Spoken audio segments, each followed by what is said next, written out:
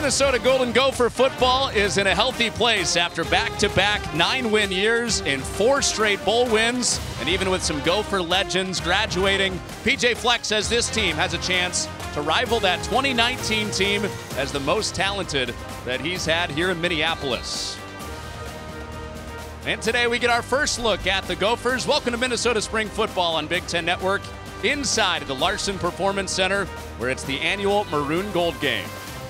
We're, we're, glad you're with us with former Gopher Brock Vereen, Connor Onion, Emily Ehman here in just a few minutes. Now, yeah, very healthy place for Minnesota football with nine wins last year. They won the Pinstripe Bowl, and they're consistently getting guys to the NFL the floor has been elevated. What is expected out of Minnesota year to year has been raised. Four or five draft picks consistently, nine win seasons back to back, not too far removed from an 11 win season.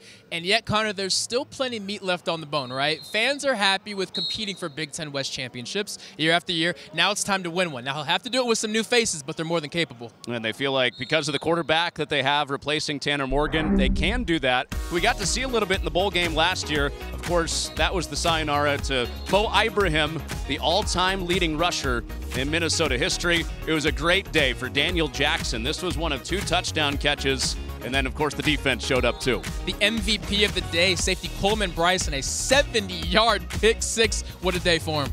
Yeah, that was the first ever pick six in a bowl game in Minnesota history. And then it was Jackson capping it off in the Gatorade bath for PJ Fleck, who's now 4 0 in bowl games since he took over the Gopher program. So Tanner Morgan is gone. He set the record for most wins as a quarterback in Minnesota history. But Ethan Kalimiak Kaliakmanis is the guy that they feel like can lead them to the place that you said they could go.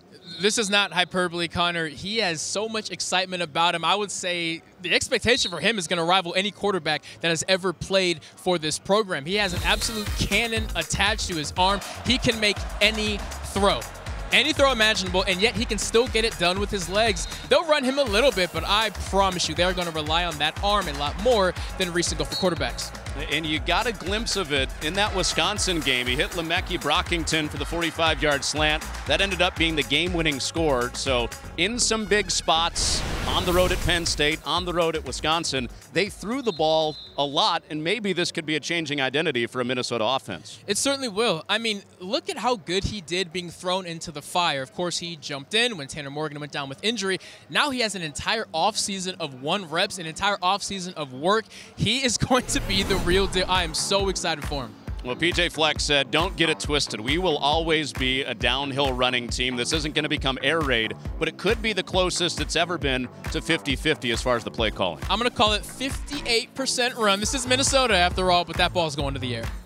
So going inside that 60% threshold for the first time in PJ Fleck's time, maybe. Let's introduce you to the third member of our crew, Emily Ehman. She's with PJ Fleck.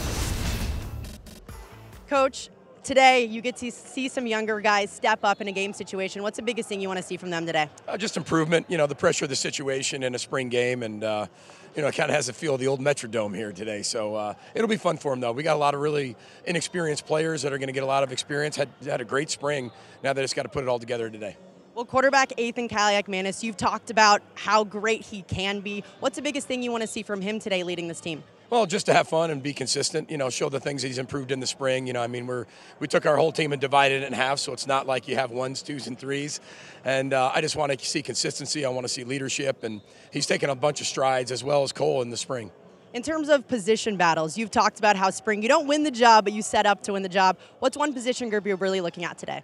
Well, running back position should be really fun to watch. You know, uh, it, we're pretty deep there with a lot of young talent um, kind of interested. I'm, I'm, excited to see who emerges from that group today. Uh, that'll be a lot of fun as we get into the, the, summer. And we got all the families here for most of the guys. How special is this for them? Yeah, former players, parents. We got a bunch of recruits here too. This is really cool. We had a big family night last night with all of our players' parents, and it was just really cool to break bread with them. And uh, I know they're really excited to watch their sons. That's for sure. Coach, thank you so much. We have more coming up from Minneapolis after the break.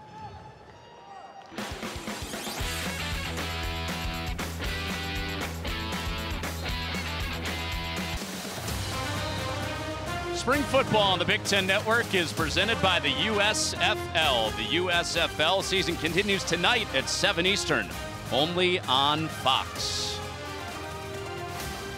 A busy weekend in Minneapolis, including watching a little USFL tonight And you've got Big Ten guys all over the USFL this year. They're all over the place. Stevie Scott was one heck of a running back. That's a guy who had some burst. Paddy Fisher, you will hear Coach Pat Fitzgerald talk on and on and on about the impact that he made there. And coming from a former linebacker, that's some high praise.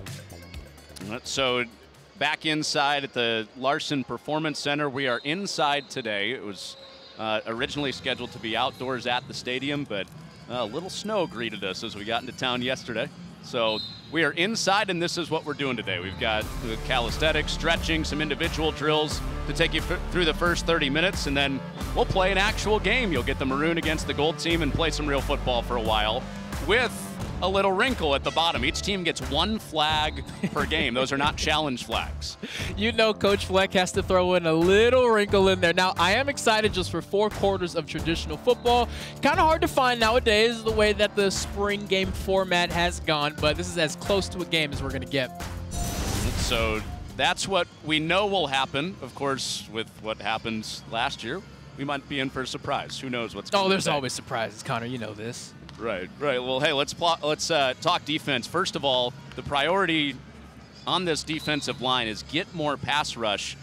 Minnesota finished 13th in the Big Ten in sacks last year. And it's just not good enough. And defensive coordinator Joe Rossi will be the first one to tell you that there is no concern about the defensive backs on this team, but what helps them out the most is the pass rush. They've still been looking for that Boye Mafe replacement. Of course, he's a, he is now a member of the Seattle Seahawks, but they need somebody who can consistently get after the passer, which leads to figuring out the secondary. You got Justin Walley, you got Tyler Nubin, you got to find two other guys. Well, they have one of the youngest defensive line coaches in the country, one of the youngest coaches, period, in the country. Winston DeLattiboudere is 25 years old. and I'm telling you something right now, he might be a head coach before he's 30 that is the trajectory that he's on. Played here for five seasons at Minnesota, three of them under Fleck. Goes on immediately when he graduates to be a GA at Charlotte. Then works for Mario Cristobal when he was at Oregon as a member of the defensive line. Then to Akron. Now he's here. And uh, if they need an extra body, looks like he can still play. That guy's ready to roll. Well, you said it. He played the position, and he's the size of these guys, so he can bang with them a little bit. And uh, the guys that he's working with, yes, they turn over some guys, especially Thomas Rush, an all Big Ten player at that rush position. But they've got a, a guy in Jalen Logan Redding that's taken over that defensive line room in the spring. And his strength is his strength, meaning he is the strongest guy on the field at all times. He is a just an absolute load that you have to deal with. But they need a little fast twitch out there, right? Jalen Logan Redding does his job, but if you can counteract him with a fast twitch guy who can bend the edge, man, they could be cooking. And so that's what they've got going up front. Again, that was the priority. PJ Fleck stated it with the defense overall, get more pass rush. So it's up to those guys. Well, in the secondary, big question around here in Minnesota is who's that second corner opposite of Justin Walley? Well, we know that Justin Walley is the first one, right? He will be following his buddy Terrell Smith to the NFL, if not at the end of this year, at the end of next year. But the thing about being a shutdown corner is you can be easily avoided. So they got to find out. Is it going to be Miles Fleming? Is it going to be Tariq Watson? Rylan Kelly? It could be a safety who maybe slides out the corner. The fact is, you have to have two for it to be successful. Two defensive backs likely to be picked from Minnesota in the NFL draft coming up at the end of the month. Let's go back over to Emily with one of them. We got a superstar in the building today, Terrell Smith. You were a huge part of this Gopher secondary since you came in in 2018. What's the biggest way that you were able to have so much success with this team? Uh, I would just say like just trusting the coaches and like just just trusting the plan that they have for you and just being able to prepare. Uh, they gave they like showed us how to prepare really well, so I, I feel like that really helped. We had some big departures on this Gopher defense. Who are one or two guys that you got your eye on that could be really big impact players this upcoming fall? Uh, I say Justin Walley. I feel like he's definitely a playmaker. He's going to get his hands on a couple balls this year. All right, you got the NFL draft coming up less than a week. I know you were at the combine just a month ago. How are we feeling headed in? Uh, the jitters are starting to come in. I'm just getting ready to hear my name called and see where I go. All right, thank you so much, Charles. Thank you. Now the jitters are starting to set in for Terrell Smith, the speedster, who's likely to be picked next week out of Minnesota. They have 12 guys drafted since 2020, and these are the four that are almost locks to go next week. And John Michael Schmitz is a day one lock. I can promise you that. Terrell Smith, I'm not going to be shocked if he's taken day two. He's so big, he's so fast, and in today's NFL, you need a guy like that. Jordan Howden slated day three. If he's day three, it's going to be early day three. I promise you someone's going to come up and grab him. And Mo Ibrahim, just the workhorse. If you need a consistent back who is guaranteeing you four yards of carry, that's your man. Not Also, Mariano Sori Marin, I would not be shocked to see him go day three. He's too smart, he's too big, he's too dynamic. That's another storyline for this Minnesota defense. How do you replace the captain in the middle that's on the NFL? We should have some football next from the Larson Performance Center in Minneapolis.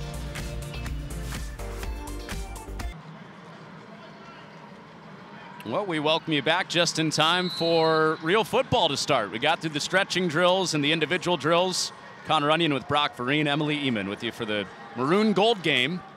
And Brock, we have to remind people that the maroon team is wearing white today. Yes, yeah, of course. And Kaliakmanis at quarterback uh, starts with the maroon team picking up five yards on first down. So we have we have the maroon team wearing white, and we have Aireontae Ersery carrying the football. Look at the big guy taking the first carry up the middle. There's there's there's always wrinkles here in Minneapolis. Yeah, that is the, the starting left tackle, a returning starter. So we told you that we'll give you the format, but we don't know. Nothing's rip, promised. Rip it up once the, the actual game starts.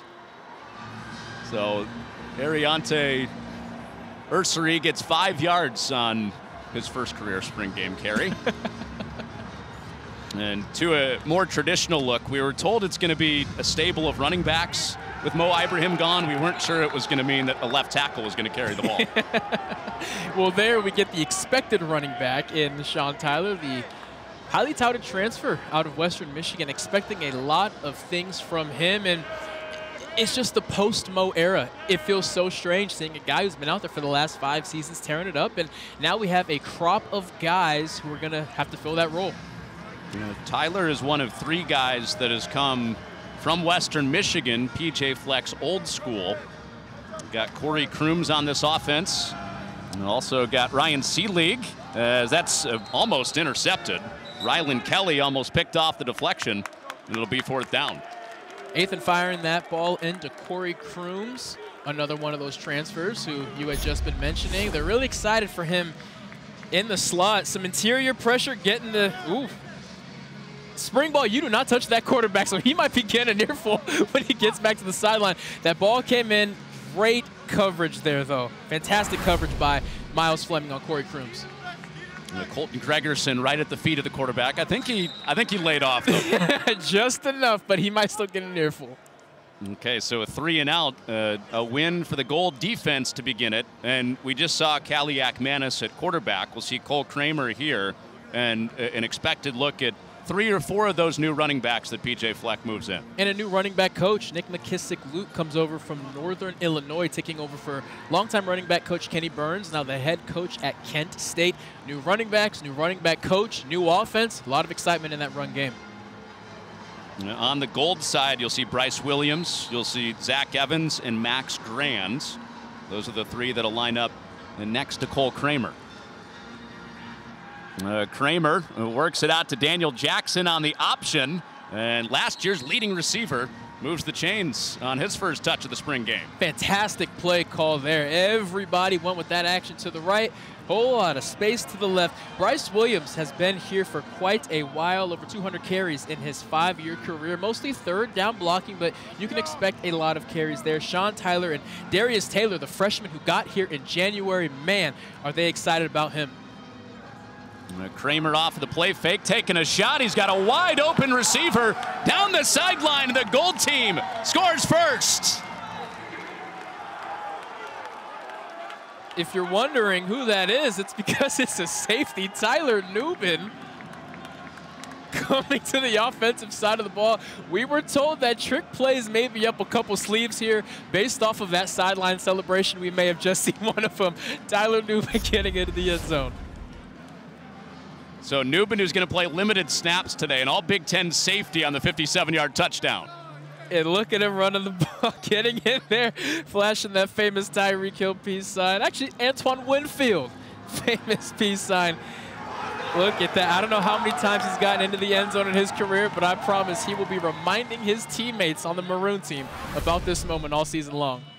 Well, he even had the presence of mind to switch hands, go to the I mean, outside he looks like a natural to me.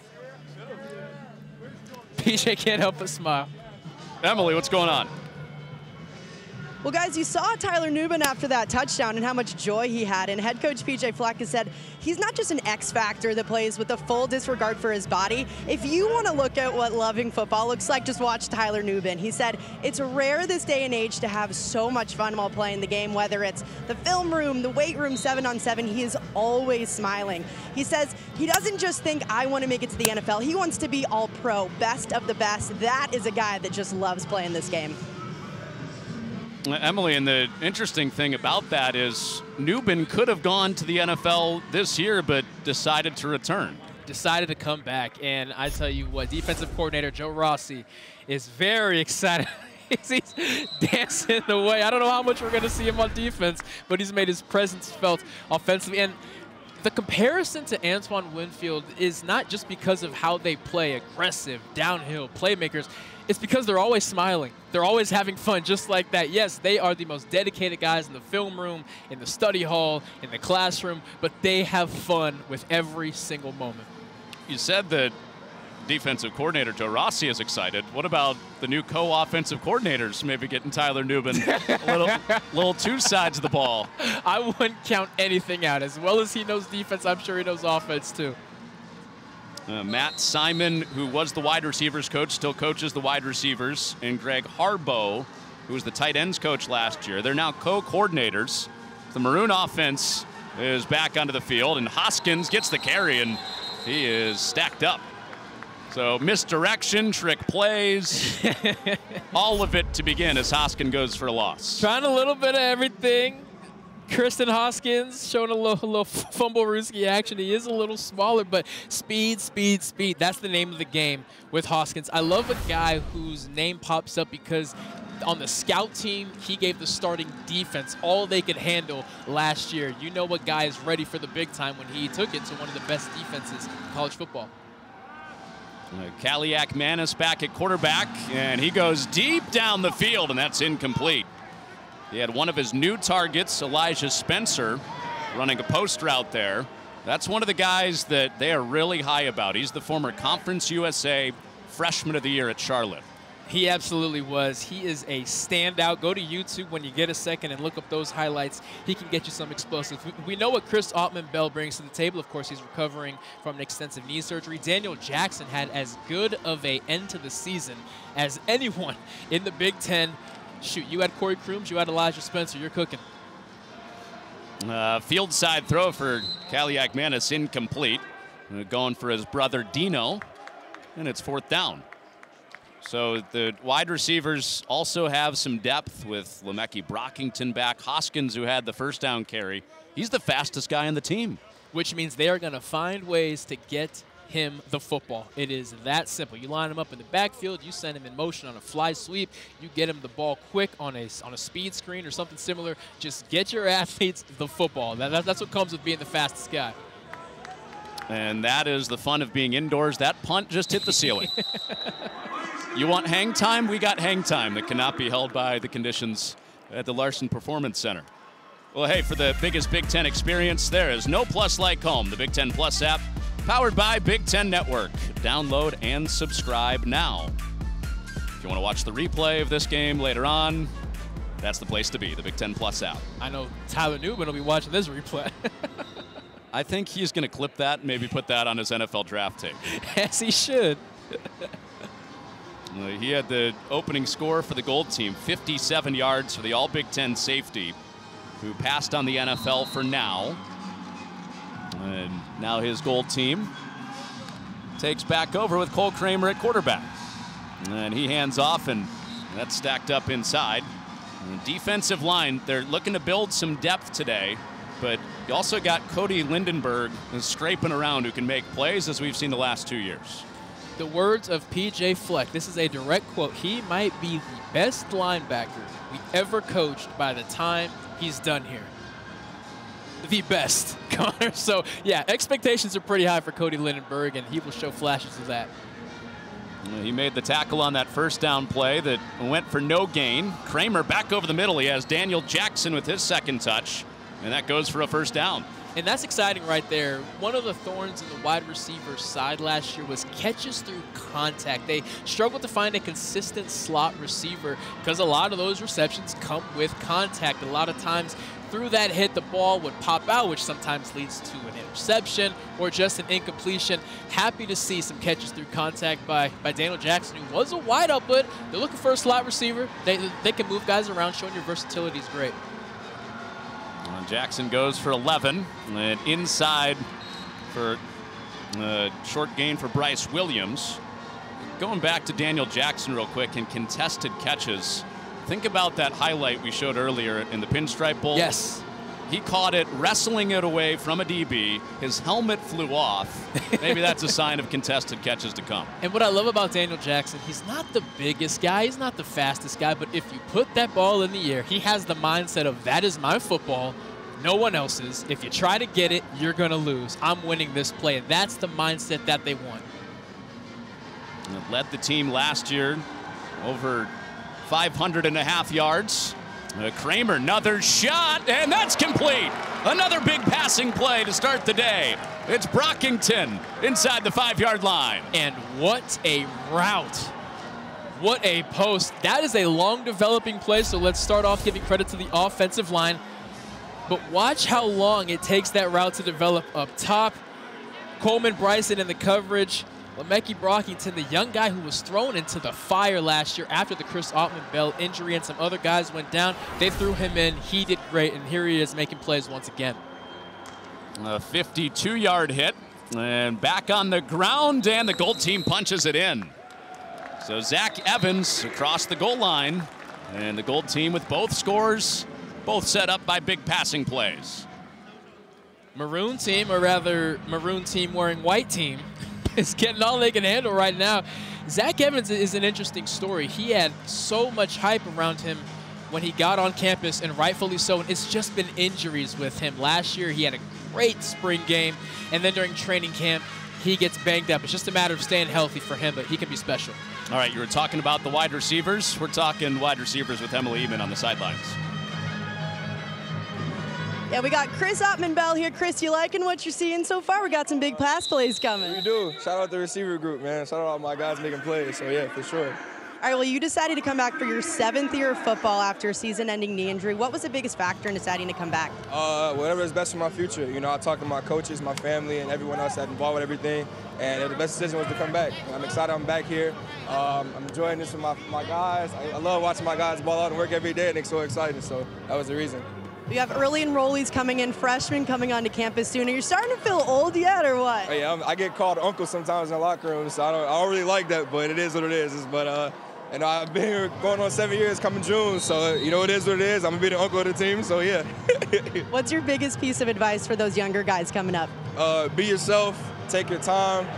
You don't know how much time you have with this, so just enjoy it. Enjoy everything. Work as hard as you can, and love life and love what you do. We got a new quarterback stepping into that spot after Tanner Morgan left with Ethan Kaliakmanis. What can we expect from your connection this fall with him? Uh, I love Ethan, man. He's young, he's silly, he's just he's, he's energetic, he's amazing, man. He has a strong arm. I'm excited to see what he has to do, man. I'm excited to play one more year with him. So, I mean, he's going to have a lot in store for the Gopher fans, everyone who's watching. So. I know you're still going through the rehab process, but where are you at right now? How are you feeling? I'm feeling great. I'm starting to pick up my running now. Uh, I'm working with my guy Joe, Sip, and the training staff. They're amazing. Even the strength, the strength staff as well. They're all helping out. They're all amazing. I'm excited to get back. I'm almost there. So. Well, we definitely can't wait to see you back out there, Chris. Thank you so Thank much. You so much. Thank back to you guys. Year seven coming for number seven, Chris Autman-Bell. Uh, appreciate his candid answers about why he came back and yeah. some thoughts on the new quarterback as well. Well, uh, with him back, with adding five wide receivers, that's why PJ Fleck said what he said yesterday. We might be as close as we have been to a 50 50 run pass split. And why not? Right? Why not? You have the arm, you have the experienced receivers, you have the speedy receivers, you have the bigger receivers. They have so much versatility in that receiver room. Whereas it was a lot of possession receivers capable of making explosive plays. Now you have explosive wide receivers. There is a difference. They are so excited about the wide receiver room, and they're excited about a quarterback who's going to chuck that ball 60 yards downfield and ask questions later. And that quarterback is Kaliakmanis, who will be called for the sack. Of course, the quarterbacks are not live. And the sack brings up fourth down as Colton Gregerson gets home and did not touch the quarterback again. Smart move by him. That's the best way to stay around here is to not hit the quarterback. Gets through that offensive line, separates and just tags off right there. Smart play. And this offensive line is definitely going to be a topic of conversation. I know there's a lot of concern. You lose all three interior linemen. That's your left guard, your right guard, and your center. And I'm not seeing the big deal because the year prior, they had to replace four or five offensive linemen. Last year, John Michael Schmitz was the only recognizable name. So it's been done before. They'll do it again. Here's what we know about Minnesota's offensive line. They'll be big, they'll be fast, and they'll be physical. They'll find five guys who can do that. Well, with what you have returning, you have the blind side and Ersery, who we saw at running back earlier, at left tackle coming back, and then Quinn Carroll on the right side. So you have blind side, strong side covered. It's that interior that is the question mark as far as who the names will be. And it's so important because I understand the left tackle is the superstar of the offensive line, if you will. Minnesota wants to run the ball. Your interior line sets that front. And as far as pass protection, if you get pressure up the gut, your quarterback is going to panic 10 times out of 10, so they got to shore that up as well. There's Brockington. He had the 52-yard reception last drive, caught after the catch by Gooseby in the secondary. Another first down through the air for Kramer, who's looked good uh, with a five for five start. You cannot call him a Wildcat quarterback anymore. He's back there checking that thing, and I'm sure he's very grateful for this opportunity to show that. Again, he will play. Ethan is the guy. Cole Kramer will play, and it's going to be much more than Wildcat plays. And that's what he's been in the past. PJ Fleck expects that he's going to play in just about every game like you were talking about, and the whole playbook will be open to him. It's going to be exciting. It's going to be tough for defenses to plan for that. It's hard enough to find tendencies in a new quarterback, right? There's only so much film on Ethan, three, four and a half games worth from a season ago. But now I have to plan for this. Number 12, too? You're asking a lot out of me, coach. So it's definitely an advantage to have multiple quarterbacks who can take a snap. Kramer on those opening two drives, three of three for 116 yards, including what might be the highlight of the day. We'll see at the end. Tyler I'd say that, uh, touchdown. that's a pretty good start, Connor. that's a pretty good start to the game. It's a read give for Kramer. And not much there up the gut. And it's third down. This goal team defensive line is is stout up there. Not a a ton of time up there for Ethan. Now, the maroon team wearing white. I feel like I have to reference that every single time. Slow start, but they're coming alive now. Not much is getting done between the uh, tackles there. And I mean, when your defensive line coach is so young and so fired up, you know you're going to be ready to play in, in big moments like this. Anthony Smith made that last tackle, a guy that they're counting on for some depth. Grew up in the shadow of Penn State, coming here to Minnesota. Kramer, another strong fire. Brockington becoming his favorite target. And he's out near the 30, shy of the first down. It's going to be just short. Let's see how aggressive they want to get. No, the the uh, the uh, punt teams are coming on, but clearly we know who Cole's go-to guy is. Le'Meke Brockington getting open and smart play by the defense there. If you want to run a five-yard out, that's fine. We'll give you that. We we trust our guys to wrap you up and get you on the ground. The play pushed back inside to one of the new guys at nickel, Jack Henderson, who PJ Fleck views as a starter right away. Especially at that nickel position. He transfers over from Southeastern Louisiana, where he was first team All Southland Conference. What I love about him and why nickel is the spot six interceptions, that's awesome. But 163 tackles. He's not afraid to get his nose in there. And at 6'3", 210, you better believe he has some linebacker abilities in there on the run fits. And Southland football is known for shootouts, so he's been in Oh, a yeah. lot of those type of games. Hey, tonight, one of the best rivalries in men's lacrosse. It's Johns Hopkins in Maryland. Then the women's lacrosse regular season closes out. It's the Wildcats and the Terps. All tonight, only on Big Ten Network and the Fox Sports app.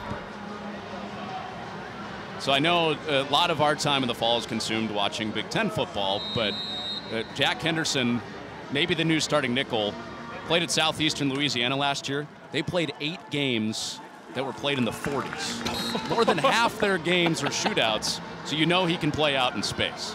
You know he can play out in space. And why it's so pivotal to have a guy like him is you take a look at the landscape of college football in the Big Ten. Yes, the image will always be 20 offensive linemen who are going to rotate through and beat you to a pulp with our fullback and running back, but things are getting spread out. Look at Purdue. Look at Nebraska. I mean, Wisconsin's going to be throwing the ball out this year, so you need a nickel who can cover and tackle. And Henderson might get a chance against his own offense to see some of that with Kaliakmanis slinging it around the yard as well as Cole Kramer. There's the gold team, two touchdowns in the first quarter from Minneapolis.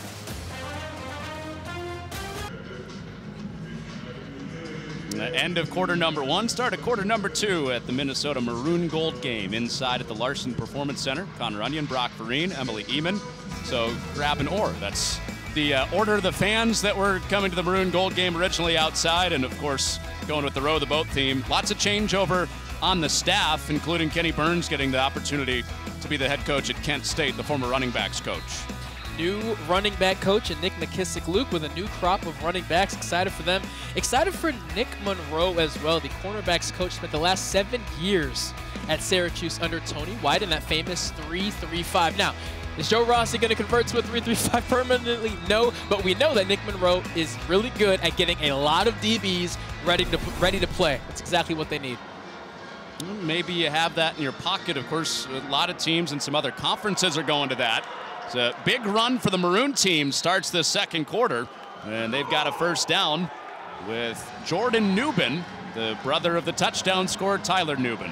And I'm sure Jordan's wondering where Tyler is. Hey, Tyler, I thought you were supposed to be back there. Why are you on the offensive side of the ball? I would have run you over. No, Jordan Nubin's name is absolutely in that stable of running backs, and it's going to be different in that running back room because Mo Ibrahim isn't there. He was the workhorse. He was getting the ball 36 times a game. I see running back by committee this year. They don't have to find one.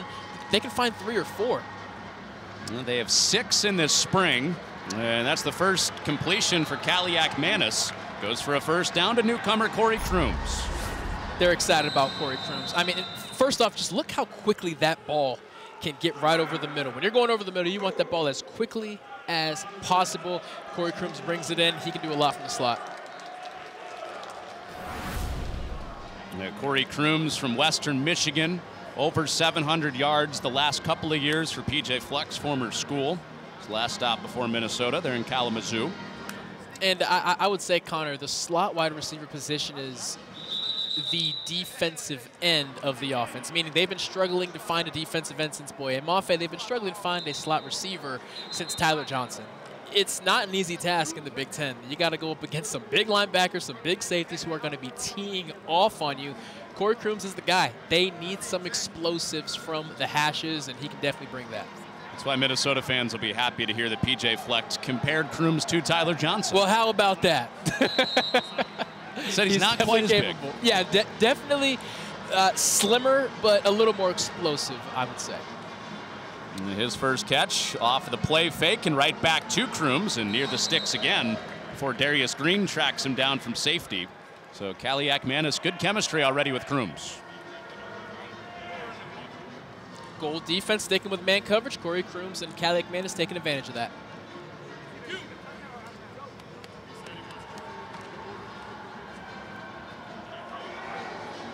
It was a, a completion-less first quarter for Kaliakmanis, but two for two on his last two throws.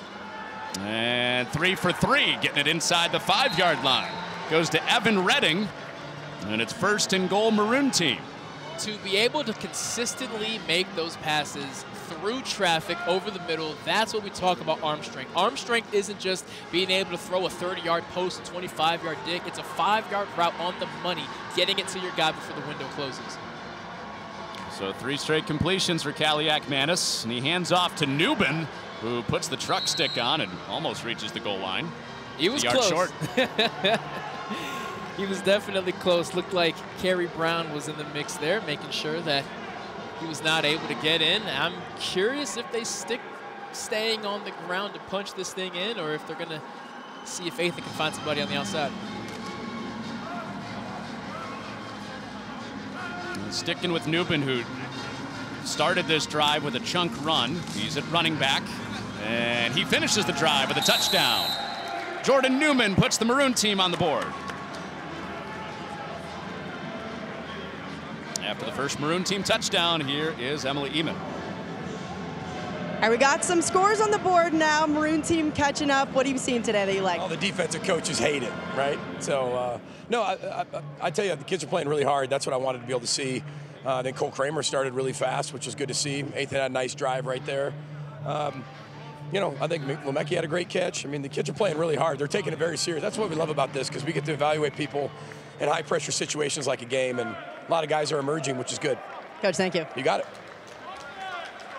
He said the defensive coaches hate this. Oh man, Joe Ross is fuming right now because it's, it's it's so funny when they split into you know gold team, red team, yellow team, white team, whatever it may be. Because if you're a coordinator and you're assigned to one side, you're still watching your guys who you're technically playing against. So the last thing he wants to see is points. But both the offensive coaches on both sides of the ball should be over the moon right now.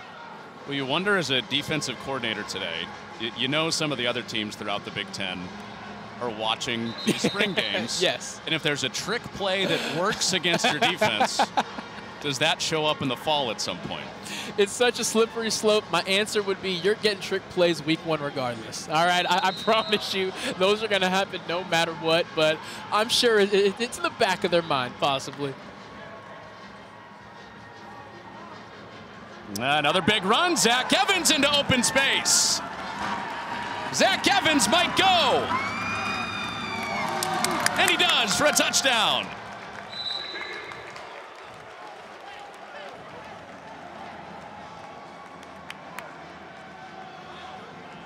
Zach Evans has been a name to watch for two years now, and if he can remain healthy, we're going to be seeing this throughout the season. Look at him getting vertical, and look at this move on Coleman Bryson.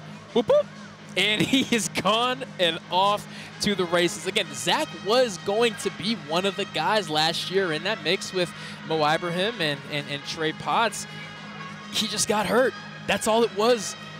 That's all it was. If he can remain healthy, he will be doing that all season. And uh, again, it's going to be running back by committee. Darius Taylor, Sean Tyler, Bryce Williams, Zach Evans. To have that many bodies, that's also how you keep people healthy. You mentioned how the injury held him out for a lot of last year. That one game that he played in was Northwestern, and he scored a touchdown in it.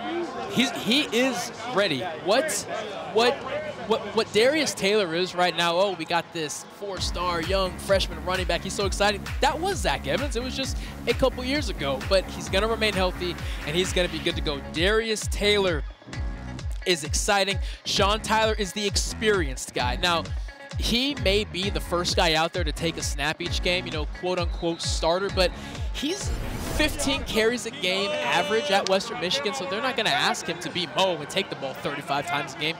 That's not his style, but how he differs from Mo is he's explosive. He's the home run hitter, and they could use some of that as well. You saw four names on that graphic. Of course, Jordan Nubin, who we've seen today at, at running back, too it's understandable the concern when you lose a Mo Ibrahim, what the running game will look like, because you had the Big Ten leading rusher, you had the all-time leading rusher leave, including Trey Potts, who transferred. Yes.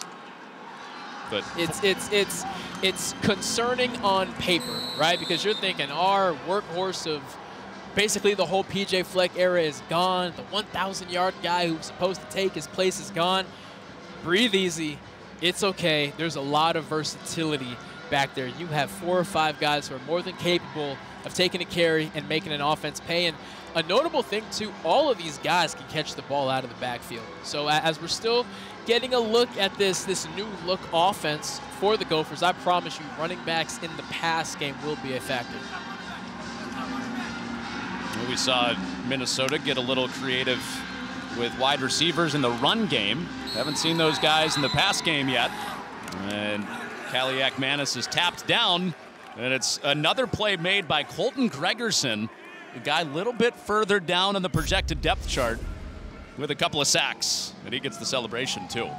And that's the beauty of spring games. You heard Coach Fleck with Emily not too long ago. They wanted high stakes. They want depth. That's that's what hurts you the most when a lot of guys transfer out is you're starters are your starters, but you need depth. And guys like that can work their way up the chart, and before you know it, your number gets called, and they know that they can trust you. So the guy that was on the receiving end of the celebration, Winston DeLattiboudere, the 25-year-old ball of energy at defensive line. Boom! Patty cake, patty cake, Baker's man. Watch this, here we go. 180, let's hit. He needs a little stop. You gotta bring your feet, right? Yeah, he got me. I'm gonna say him, lie. He's a little stout.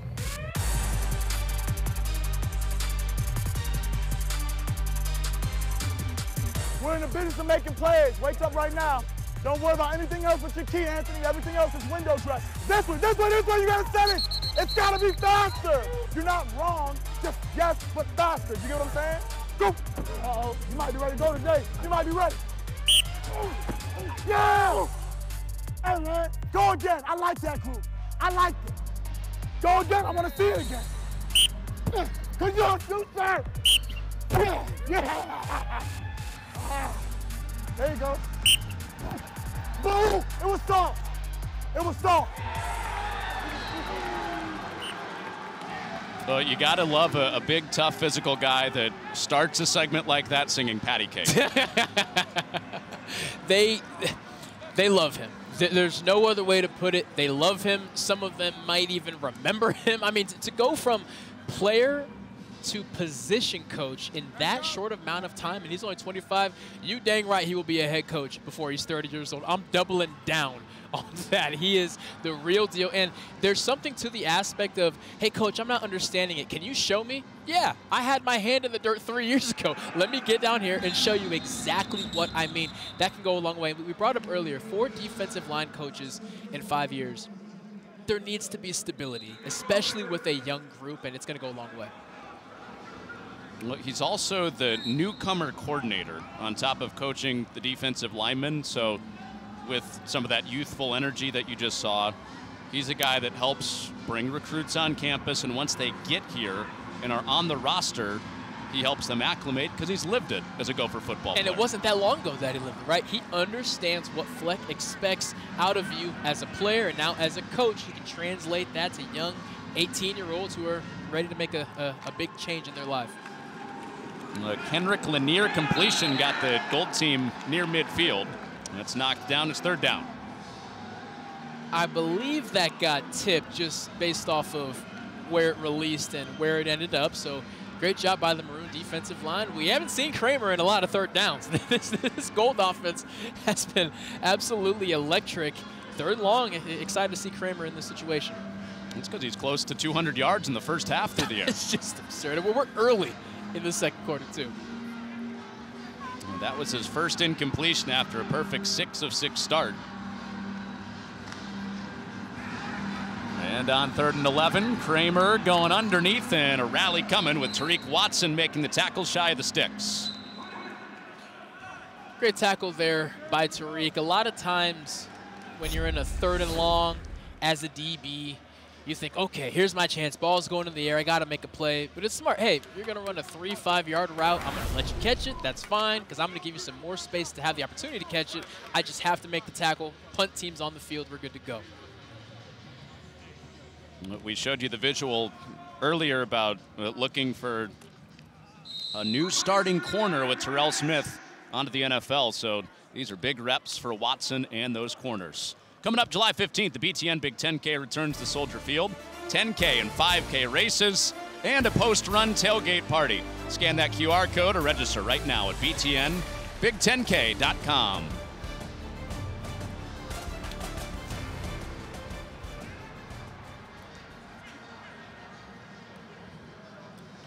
So this time of year, you know, your roster isn't quite complete. One position we haven't talked about yet we're going to hear from this guy in a little bit. Tight ends is in a really good place. Brevin Spann-Ford not practicing this spring, recovering from injury, but you got to love what you have as far as pass catching and blocking at that spot. Took a massive leap last year, and statistically speaking, if you're into you know PFF player grades and all that, he was the best in the Big Ten at it, the best run blocking tight end, and he's known as a pass catcher so much that people forget. No, no, no. He enjoys blocking. He wants his hand in the dirt. And that's what the NFL wants. Right now, there's this schism in tight ends where you're either a Travis Kelce or you're a George Kittle. He's in the George Kittle category, which is what you want. He can do it all. It's Martin Owusu, defensive lineman down for the gold team. So we've got a stoppage early in the second quarter with the Wusu getting attention from the training staff.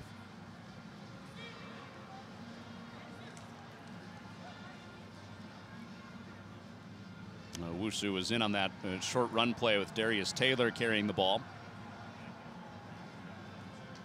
And of course, the stated goal for PJ Fleck coming into this game is get some work in, but keep everybody healthy. That's the most important aspect. At the end of the day, it's a bunch of big guys playing fast, running into each other. These things happen, but of course, with with such a young roster and also such a thin roster in regards to depth, this is the last thing you want to see. But he's walking off under his own power. Hopefully, that's a great sign. Freshman, that's a Minnesota native from Prior Lake, Minnesota, Martin Owusu, walking off on his own power.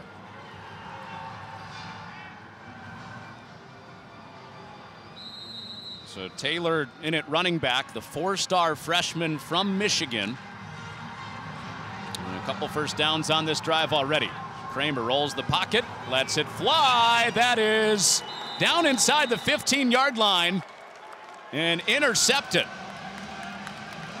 So Kerry Brown, who was down in a play on the goal line earlier, has the interception for the gold team. Kaliakmanis extending the play, trying to make something happen. Watch Elijah Spencer up top. He does have him beat by a step. Kaliakmanis releases it kind of off of one foot because the defender is in his face. Ball comes up about seven yards short, and some more good things for the goal team. A January enrollee making a play in his first live look in front of a crowd. One to remember and taken to the fall for Kerry Brown at safety. That is not to be taken for granted. The fact that just a few months ago he was talking about prom and, and all this stuff. Like, hey guys, I'm not going to be here. I'm going to go be making interceptions in my first spring game. It made it worth it to miss prom. yes, he did. Getting a pick today. Uh -oh. oh, here's a double pass, and that's knocked out of there. Oh, Lanier was streaking behind the defense on the trick play. And the MVP of the bowl game, Coleman Bryson, recovers. Coleman says, not on my watch. A lot of trick plays start with a fly motion going one direction because you want yourself, you want your defense thinking that. Go the other direction, and Coleman just able to get that big hand up there and knock it down. I, I, as a DB, I'm selfishly always going to root for a DB, but back-to-back -back trick play touchdowns would have been something as well. So we got an exception to your rule.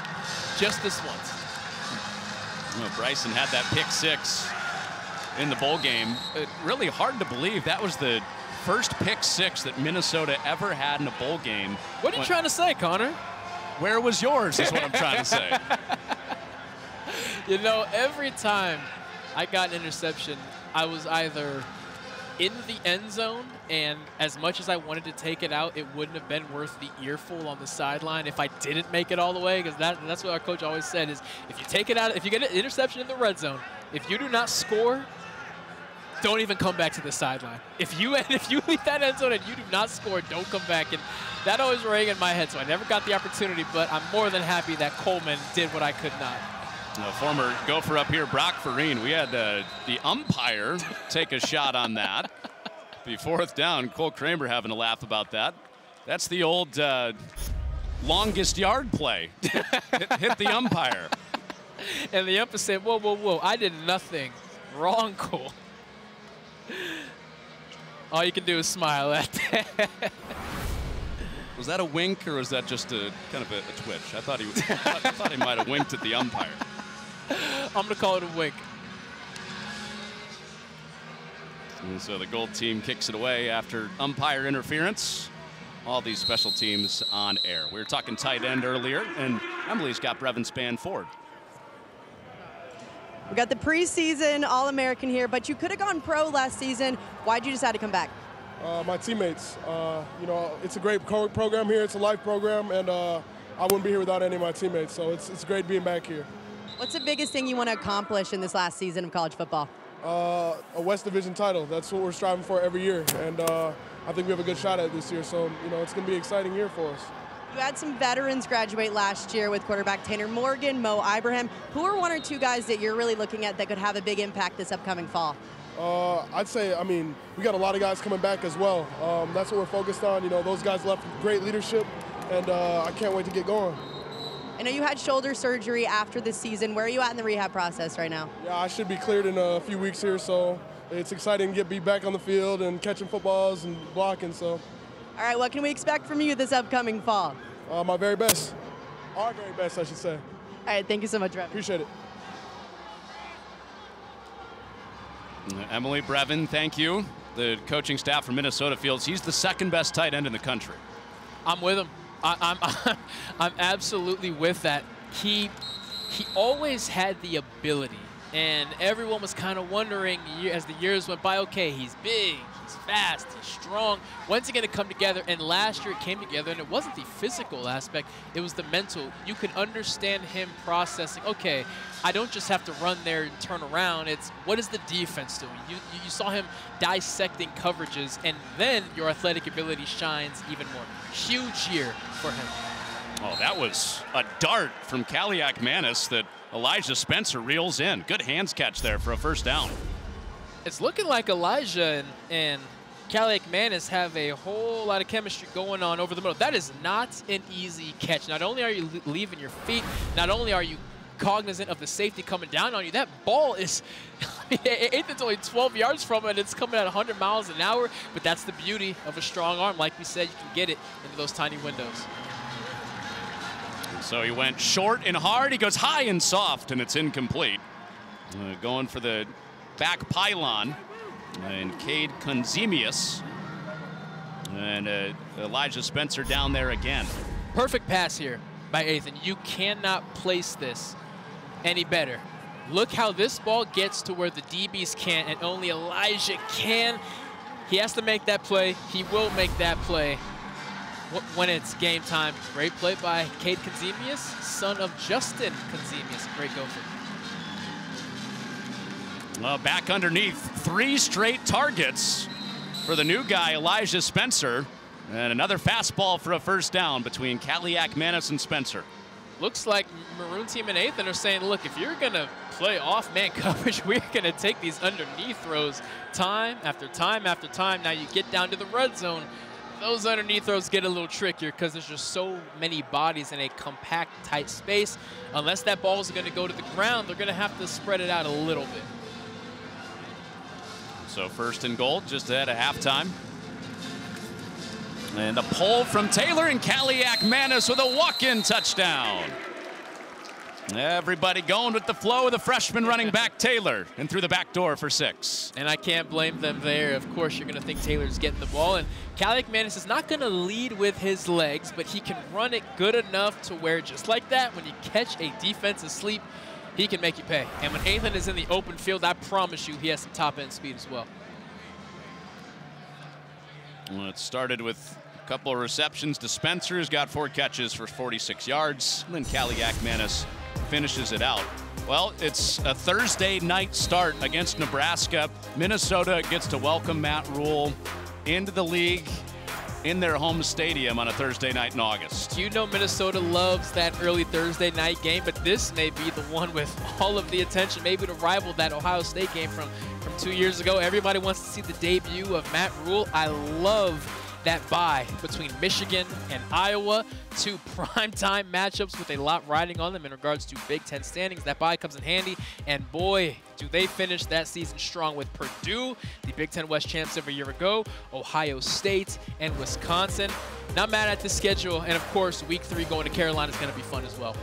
We are 131 days away from kickoff. Today is the perfect scout day for the Big Ten opener on the 31st halfway through the maroon and gold game. We'll get you out to Lincoln after this. So you get to see that first Big Ten matchup play out in back-to-back spring games. So after the Cali, uh, Kaliakmanis touchdown, we go to halftime with the maroon team getting it back to a seven-point game.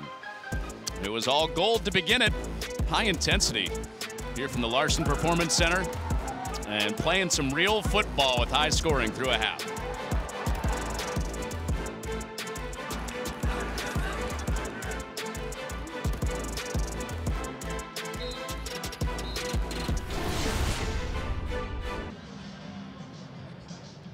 Both quarterbacks for Minnesota with good moments in the first half. Cole Kramer, long touchdown to Tyler Nubin, the safety.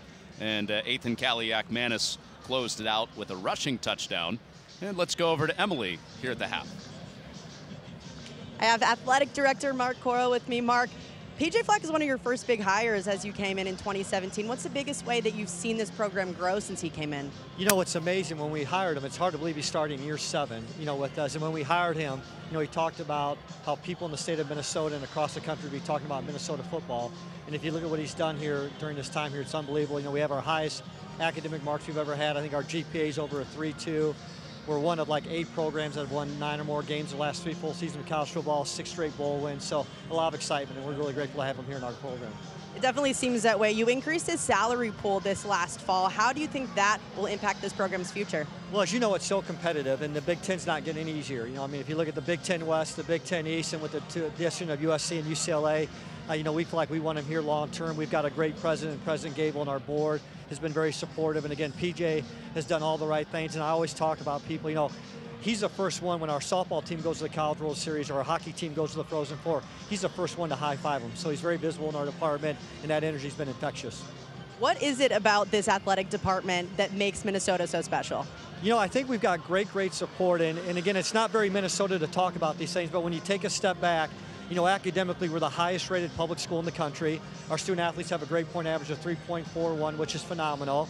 Athletically, the Director's Cup came out this past week. We're 14th in the country, which means you're in the top 6%. So we have a lot of really cool things going on, but we've got a great fan base. We've got great new facilities and a lot of positive excitement going on in our department right now. Yeah, great facilities. You got great new coaches coming in on the women's basketball side and volleyball front. What was one thing that stood out from each of those candidates to you to make those hires? Well, I know you know Keegan well from your days playing volleyball. You know, Keegan coming from Washington, Keegan Cook has just been a great addition to our program, and he had great, great success out of Washington. And then when we hired Dawn Plitzuweit from West Virginia, you know, Dawn's from Wisconsin. She actually coached at Wisconsin, coached at Michigan, so she's got Big Ten ties.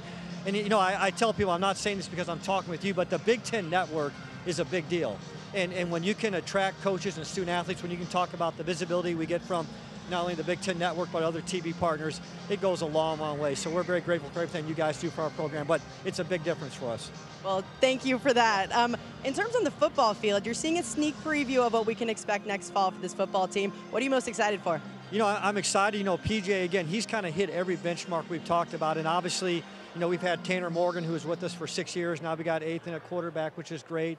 We've got some new linemen coming in, new defensive players coming in. And again, PJ, watching them develop these kids, you know, our recruiting classes have gotten better each year. And it's great to see these guys have their chance to step up and be a part of it. So it'll be a fun season for us. Mark, thank you so much. Yeah, thanks so much. Appreciate you. Back to you guys. Mark Coyle, the AD. It's halftime at the Gold Maroon game. And uh, we've seen Ethan Kaliakmanis with some good moments in this first half, including a rushing touchdown. We knew he could get it done with his legs. We knew he could get it done with his arm. It was the arm that shined early, just how much zip he can get on the ball in some very tight windows. He can create comfort. That's probably the best way to phrase it. When your receiver trusts that, hey, I know I'm going over the middle, but Ethan's going to get me the ball in a place and quickly enough to where I'll be safe that is fine with me. And then, of course, he can get it done with his legs. I'm not sure how much more of Ethan we're going to see, but if he's calling it here, maybe a slow start, but oh boy, what a second quarter. And then that last drive, he completed three balls to Elijah Spencer, went for four catches, 41 yards on that drive. Trusted target. I mean, Ethan's go-to guy was Daniel Jackson last year. Daniel Jackson isn't on his team right now. Daniel Jackson is the enemy, but we've seen Corey Crooms, we've seen Elijah Spencer, we've seen him getting some work with some of the newer faces, and clearly there's some chemistry building. He's got the new guys on his side, Elijah Spencer and Corey Crooms at wide receiver. Good day for the kids at the Larson Performance Center, too.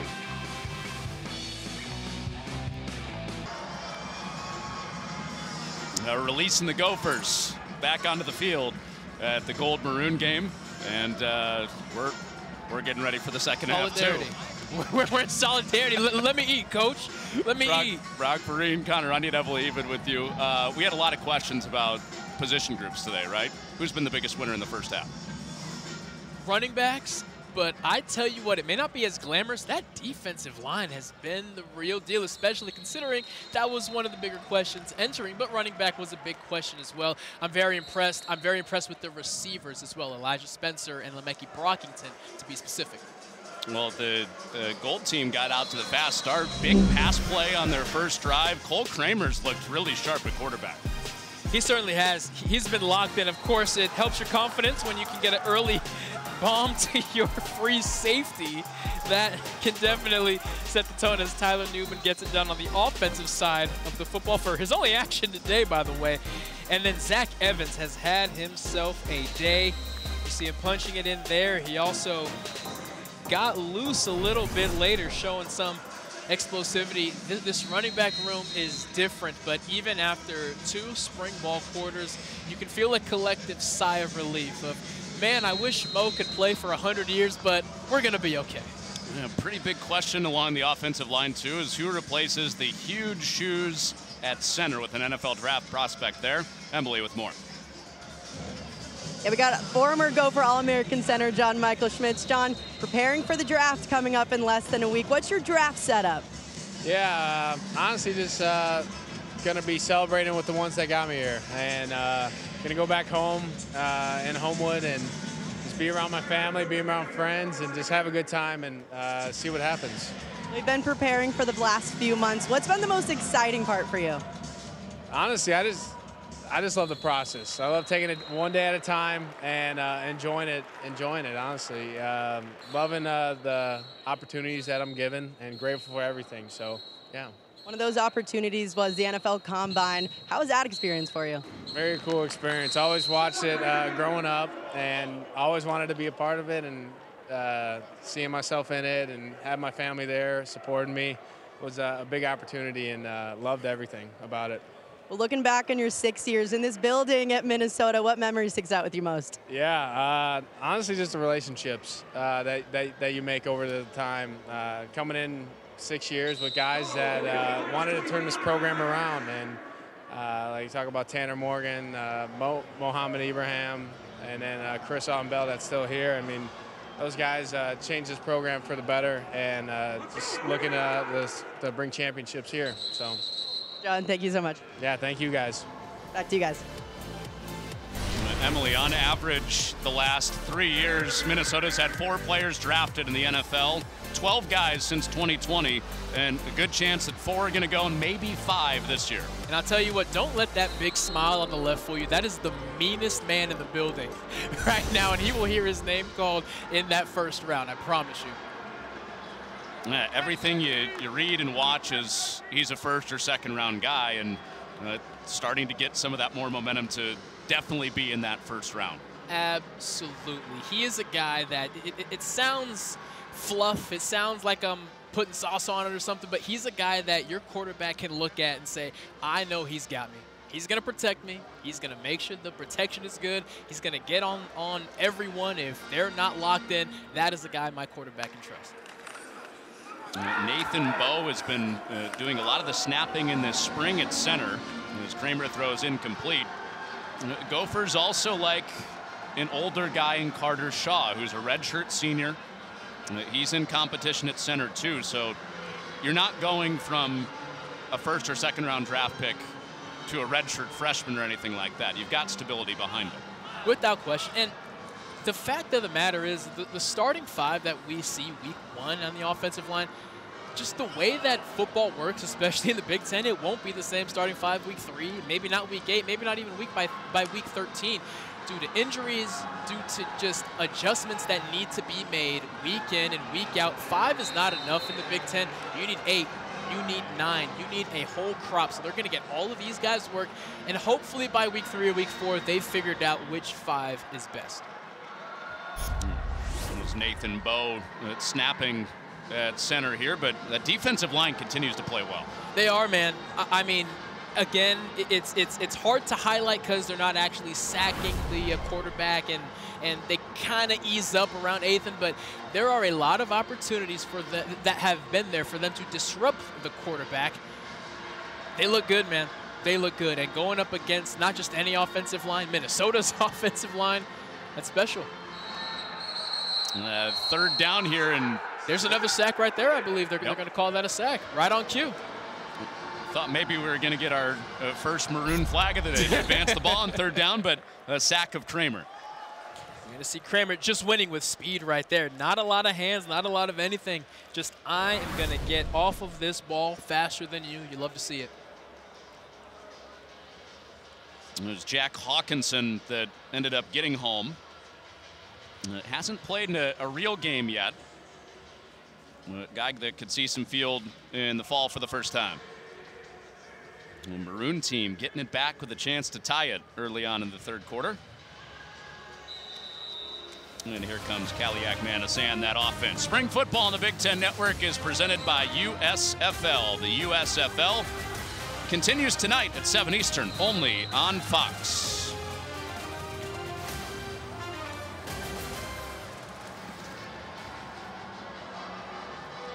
All right, so saw a lot of work from Kaliakmanis in that first half. Said he might be done. Maybe we get more of a look at Drew Viotto, freshman quarterback. He's in behind center.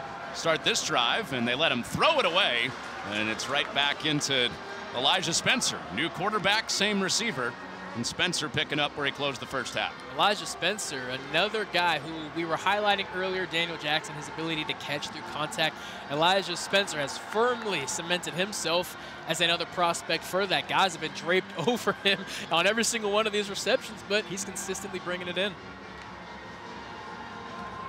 They go away from him this time as a real flag comes out as Nubin breaks out into the secondary. That is not the maroon or gold flag that could advance the ball. That is a true penalty marker. In the area of holding, which is never good. If you're the maroon team, that is. Holding. Defense, number eight. 10 yards added to the end of the run. Automatic first down. Against the defense, though. It was holding. Was you know? holding. I was almost the there. Let's see if we can spot it. What you're going to see is Jordan Nubin reading a zone read perfectly. He's looking front side. Look how much space there is, and he can plant that foot and get vertical before that end can close the gap. There's just a lot of muck to sift through there, but the ref saw something. And quite honestly, a lot of times when you see an offensive lineman on the ground like that, they don't want to be on the ground. Sometimes they got drugged to the ground with a defensive lineman. Leviato pulls it out of there, back Spencer's direction. And this guy's catching everything right now. He certainly is, and I'm also impressed with Viotto. Like you mentioned, the true true friends, true freshman just arrived, but Elijah Spencer, sure-handed, looking off the DB there. Again, it's a tough thing to catch the ball knowing you are going to get hit immediately, but Elijah Spencer's a guy you can trust we got a, a, great look at his eyes. Yeah. You, are a former DB. What yes. would you have done if you saw those eyes? So what he did is what you could call bait, right? If you are a defensive back, watch very closely at the top of this route. He's getting vertical, and right here, he looks outside. Now, if you are not a disciplined cornerback, that'll be enough to get you. Playing cornerback is very hard, especially in tight man coverage. You are looking for any possible cue. Elijah Spencer is a veteran. He understands that, and he says, hey, if I can get an undisciplined guy here, I can get him off his ledge a little bit. Yeah, it's Nubin uh, back on the ground. Yeah, you, you talk about stemming and that sort of stuff and footwork, but that's an underrated part of that it position. Is. It's huge. And you know who really brought it to the forefront was Randy Moss. If you go back and just watch any Hall of Fame defensive back talk about covering Randy Moss, he manipulated you with his eyes because for a lot of inexperienced receivers, that's something that you can't control. Your eyes get big when the ball is coming. Those are little things, but a veteran like Elijah Spencer can sometimes use that to manipulate. The cornerback there was disciplined, but a lot of cornerbacks won't be. Joey Gerlach in on that tackle, make it fourth down. You uh, you played right into the Gopher Viking crossover crowd right there. The Randy Moss I like reference. to please the people, Connor. What can I say? Well, what do you think? Um, I thought maybe they're going to send Viotto back out into the field. They will kick the field goal. Dragan Kesic will replace Matthew Trickett, two-year starter at kicker for the Gophers. He's got a big left leg. And plenty of leg on that. Plenty, plenty, plenty. You were not lying about that leg. All right, so these are the guys to watch. Both sides of the ball. Some transfers, but couple of four-star guys. You, you get Jerome Williams this summer on the offensive line. Darius Taylor is already here, a guy that they brought in from Michigan. Jerome, the number two recruit in Minnesota. We were talking in the open about what back-to-back nine-win seasons with bowl wins can do. That's what it can do. It can keep the best home. That is a massive land. Then you have Darius Taylor, Sean Tyler, Corey Crooms. We've seen all these guys. Chris Collins, we haven't seen the UNC grad transfer, and I bet you he cannot wait for September 16th when they head back to Chapel Hill. That'll be a, a fun headlining non-conference game on a Saturday in Chapel Hill. Two strong-armed quarterbacks. Yes, absolutely. Go Drake Maye against Kaliakmanis. That'll be fun. Can't wait for it. That will be that will be a pro. I mean, it, again, if you look at this schedule, man, Thursday night under the lights, Matt Rhule debut, new look Huskers. That's going to be a big one. And then you go out to UNC, not to mention the Big Ten schedule. The uh, lights will be bright this season. Viotto is just playing for the Maroon team. Now he's the quarterback of the Gold team. That's how it goes with the freshman quarterback. Coming up next, it's first look at Matt Rhule's team. He says that they're playing a game. Everybody's live, including the quarterbacks. We'll get you out to Lincoln next for Nebraska Spring Football on Big Ten Network and the Fox Sports app. And you know what? It, it kind of leans into there, there's two different types of spring balls. There's the Minneapolis spring ball right here with the Gophers, where back-to-back nine-win seasons. Yeah, we need to see what we got with some young guys, but we got enough experience to where we don't have to be live all the time every day. Nebraska is, hey, you got to show it to me.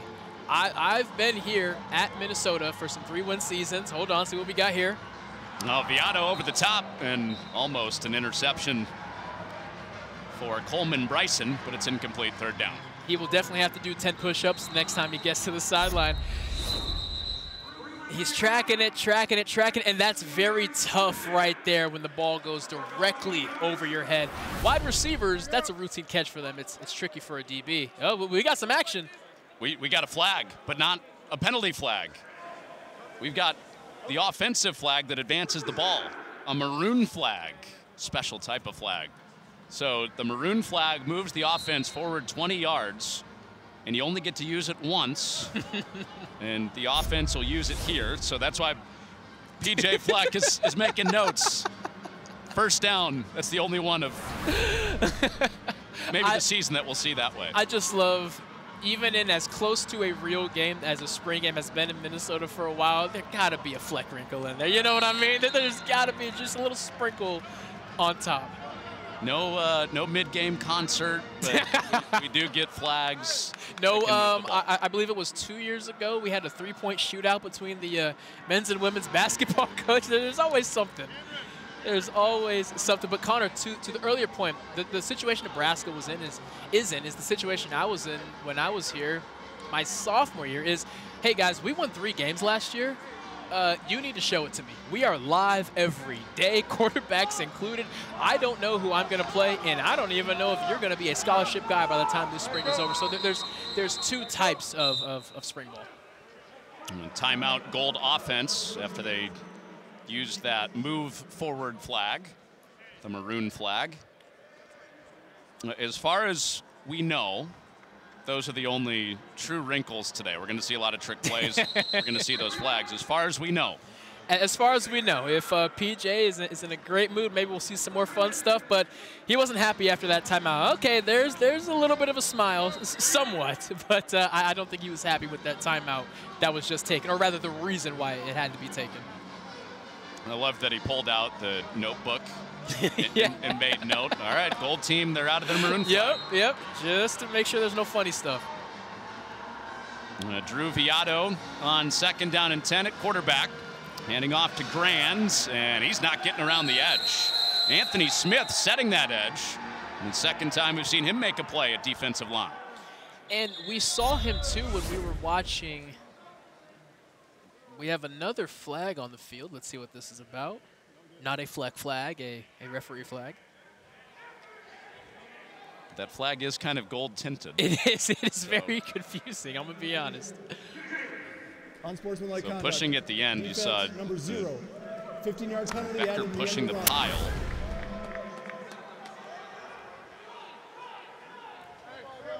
PJ now very vocally saying to the Maroon sideline, there's no room for that. Get him out. And that is why he is mm. out came to the sideline. And yeah, I understand things are fired up. You want to get up and celebrate. That is your teammate at the end of the day. And yeah, he is uh, currently on the sideline hearing hearing a lot of it. But no, there's no no no place for that in spring game.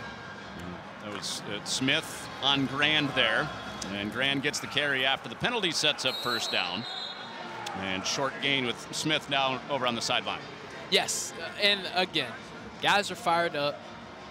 These are game reps. This is a defensive line who has a lot of spots up for grabs. Smith back in there. But there's just no place for when you're going up against your teammates. Before that play, I will say, which is what I believe you were getting at, he's had a heck of a day. He has. He's had a heck of a day. He's made himself known. Uh, Smith uh, goes into the fall still looking for that first career sack, but remember, that has been the headline for the defense. Get more pass rush, and he's a guy that factors into that on the edge. Um, back to the ground, tough yards for the Gold Team offense against that front with Smith and Henderson at nickel. Love Henderson, man, which leads to the conversation about the defensive backs. It, it's, it's fitting that the DBs and the D line are kind of in a state of flux, not because of lack of talent, just because a lack of experience and who is going to take that role. A great DB unit helps out a defensive line unit. A defensive line unit that, that gets it done play after play, especially can pin their ears back on third down, that makes a DB feel great. They work in tandem. So we had a, a flagged first down. Then we saw a flagged first down. Now a third down again, and that is stopped up that is Maverick Baranowski in dragging down the running back to make it fourth down. Huge play by Baranowski right there. You're, you're going to watch him here make the offensive lineman miss, and he just shoots the gap. He sees red, and he just goes for it. What a play back there. Baranowski was the young guy in, in the linebacker room a year ago. I'd expect him to have plenty of opportunity to, to become a starter before training camp's over with. It comes from Florida. Mom was an athlete. Easy icebreaker with Emily Ehman, our sideline reporter. she was an outside hitter at UCF. Former volleyball player. So the field goal is good to make it a seven-point game. And that's going to bring us to the end of the third quarter. That was the flashy start. We went into the locker room at 21-14. Defensive coaches will like that quarter better. Three points aside. Seven point game going to the fourth.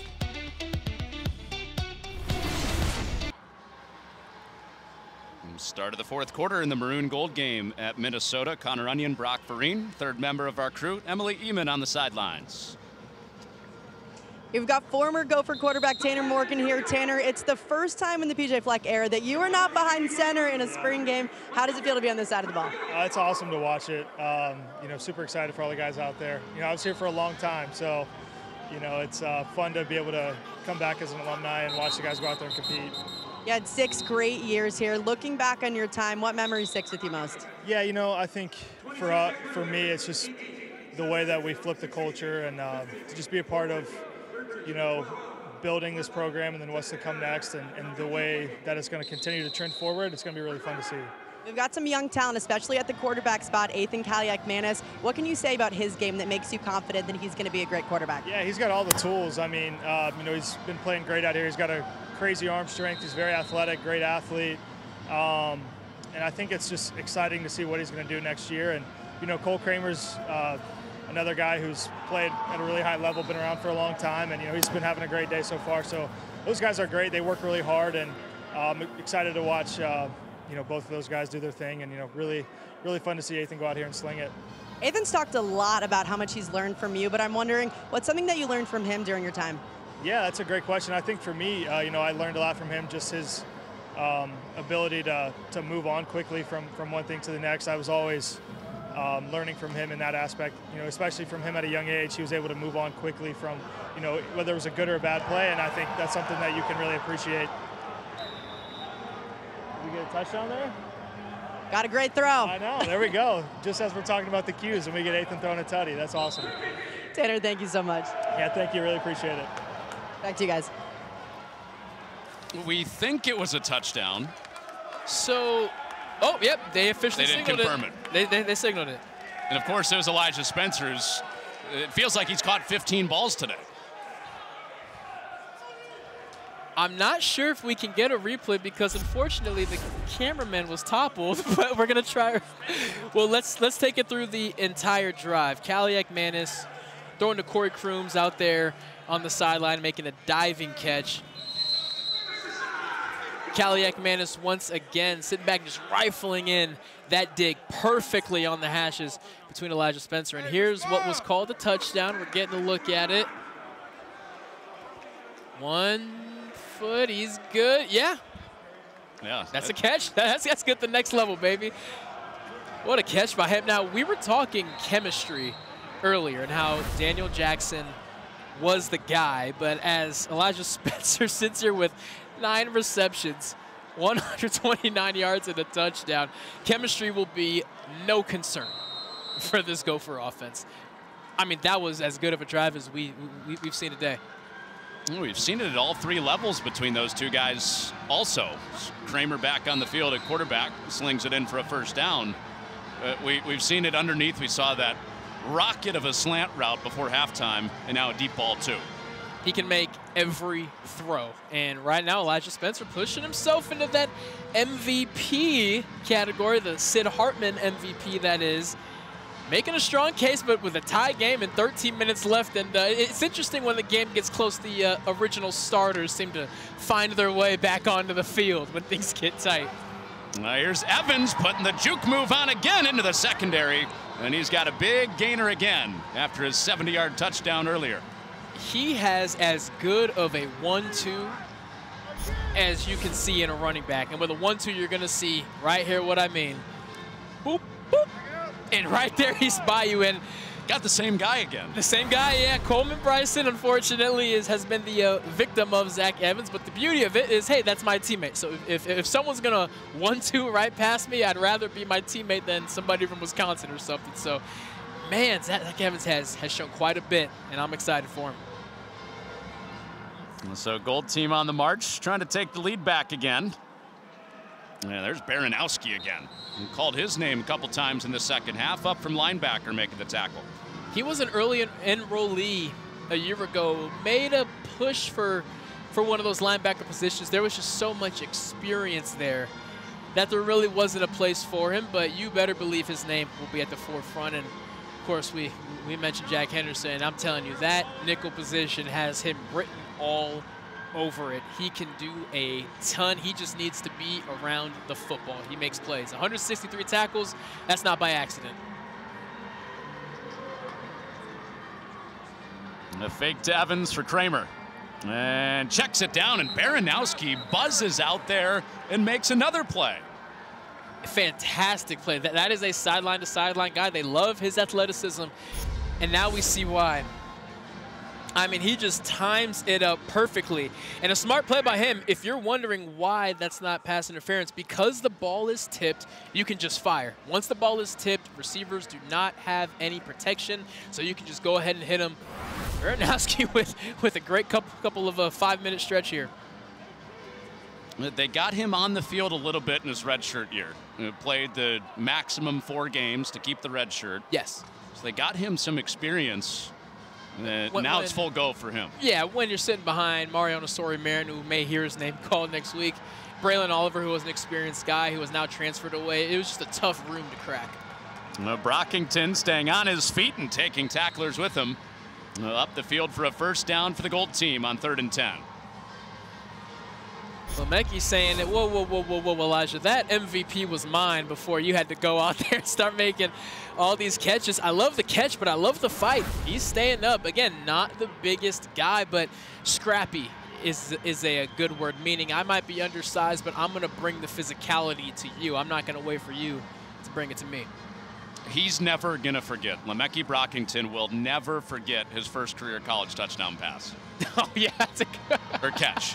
45 yard slant in a rivalry game. Talk about me? a uh, coming out party, right? Won the game against Wisconsin last year. Uh, back in the ground with Evans. And, you know, we, we were talking earlier, Athan Kaliakmanis gets thrown into the fire due to injury with Tanner Morgan.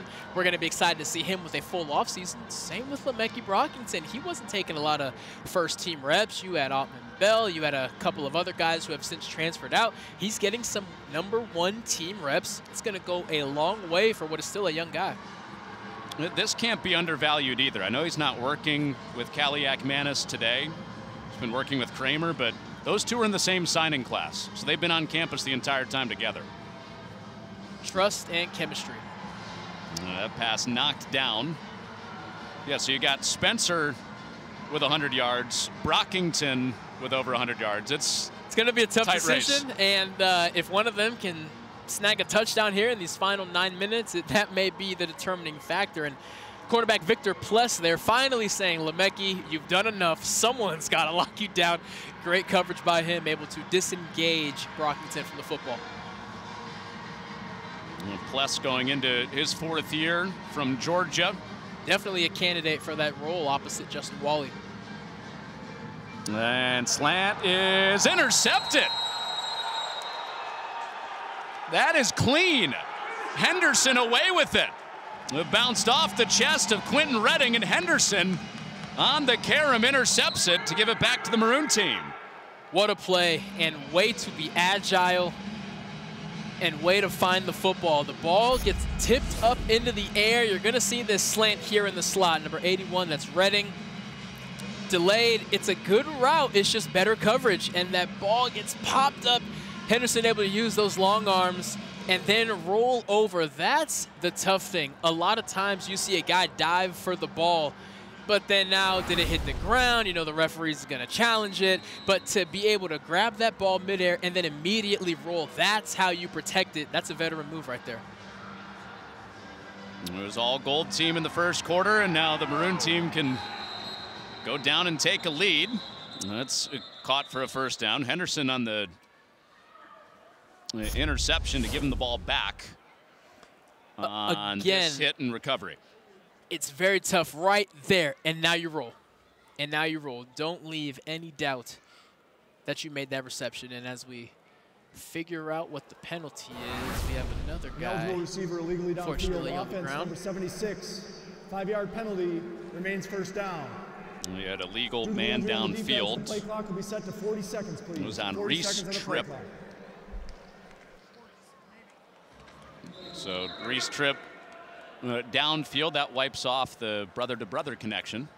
There's uh, Dino Kaliakmanis with the catch. Jordan Greenhow was the cornerback down there. He's able to walk to the sideline. Uh, hey, tomorrow, catch Big Ten Baseball. It's the Gophers and the Fighting Illini. Live coverage begins tomorrow, 2 Eastern on Big Ten Network and the Fox Sports app. Always fun covering John Anderson teams. Oh, it's never, never not interesting. Uh, this is back out to Crooms along the sideline dancing and out across the 40-yard line. So Corey Crooms and Elijah Spencer, first look for Gopher fans at those two guys today, checking some boxes. A lot of those situations coming in man coverage as well. He gets man, he gets a great route there, gets separation, and able to leave enough space to where he can dance a little bit on the sideline, get himself an extra four or five yards. That's that explosivity from the slot that gets me so excited, man. That is what they've been missing, and clearly they have it in spades this season. And again, if you just joined us, getting Tyler Johnson comparisons. There's brother to brother. Uh, Ethan Dedino, a Kaliakmanis first down. I know mom and dad are in here somewhere. Very excited, saying this is how we raised you. Ethan Andino, again, that is not a big window, but the fact that Ethan has consistently hit that window since the first quarter, it's exciting, man. Those two are 16 months apart. They're not twins, but they did grow up in the same grade together and doing a lot of that in the backyard, back-to-back -back first downs for Ethan Andino.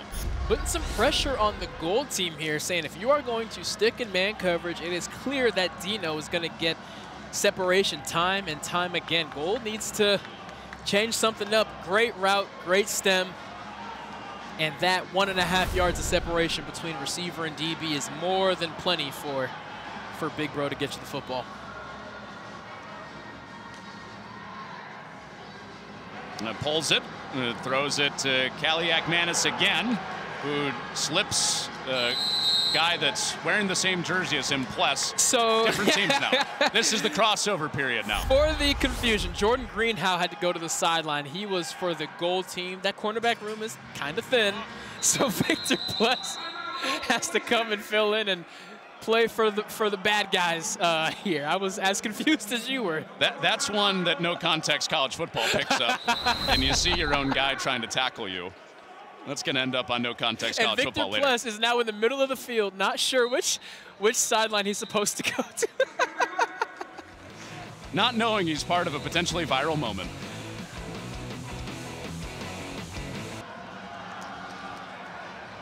Oh, while we were away, the Maroon team moves it inside the red zone. Darius Taylor, four-star freshman running back, big crack on this play. Lowering the boom. He was in high school just a few months ago, but bam, right there, you would not, know, bringing the fight to you.